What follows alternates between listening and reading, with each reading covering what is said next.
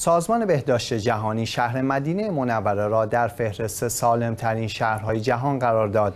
به گزارش شیعه ویوز اخبار شیعان جهان به نقل از عرب نیوز پس از بازدید کمیته ای از سازمان بهداشت جهانی از عربستان این سازمان اعلام کرد که مدینه منوره تمام استانداردهای جهانی لازم برای داشتن یک شهر سالم را دارد و نام این شهر در فهرست سالمترین شهرهای جهان از نظر این سازمان قرار گرفت.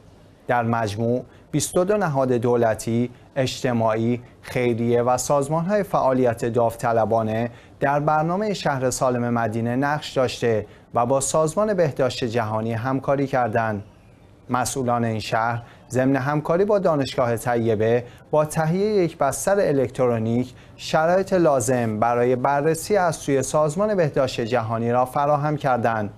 سازمان بهداشت جهانی همچنین توصیه کرده است که این دانشگاه برنامه های آموزشی برای سازمان های ملی علاقمند به مشارکت در برنامه های شهر سالم تهیه کنند.